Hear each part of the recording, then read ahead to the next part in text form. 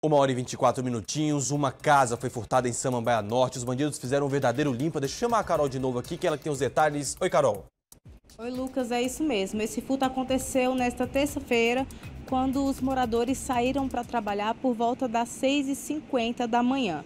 Os vizinhos viram aí uma movimentação estranha e conseguiram flagrar a ação é, dos, dos, criminosos aí, colocando várias coisas dentro de um Civic prata. O que, que esses vizinhos que, que esses vizinhos fizeram? Ligaram imediatamente né, para os donos dessa residência, que chegaram lá e já se depararam com a casa arrombada. Os criminosos levaram TV, notebook, botijão de gás, tênis, roupa, cartão e, além disso, a cachorrinha da família. Não perdoaram o animal aí, Lucas. Uma das moradoras disse, inclusive, que o cartão foi utilizado quatro vezes em um comércio na estrutural. Eu vou pedir para nossa equipe soltar o vídeo para o pessoal de casa entender melhor. Roda aí para gente.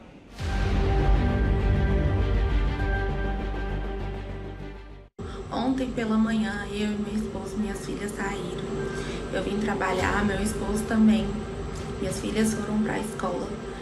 É, entraram na minha casa, arrombaram meu portão, levaram televisão, tablet, notebook, tudo de que eles poderiam ter levado e além de tudo levar a nossa cachorra, a Velma, é um American Bully. Ela tem dois anos.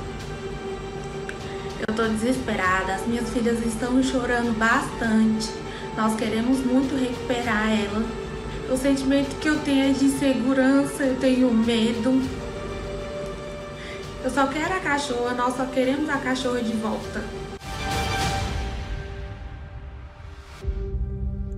É isso, qualquer informação ajude essa família que está desesperada. Uma hora e 26 minutinhos.